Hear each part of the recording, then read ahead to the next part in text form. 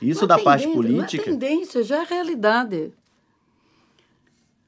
Em 2016, numa tese feita entre Lisboa, analisa, na Universidade de Lisboa, analisando União Europeia e Brasil, em 2016 eram 300 produtos já condenados nos países desenvolvidos e ainda utilizados no Brasil. Depois do Nishimori, da lei do veneno, e a enganação é absurda, porque veneno, que antes era chamado tóxico, agrotóxico, a enganação da mídia põe fitossanitário, fitoprotetor. Se você pergunta para um pai, usa agrotóxico? Não, eu só uso fitossanitário.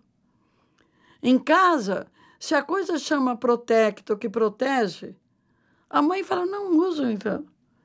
Eu só consigo saber o que uso em casa quando eu pergunto assim para a mãe, minha senhora, como é que estão as baratas da sua casa? Minha casa não tem barata. Casa sem barata é casa envenenada.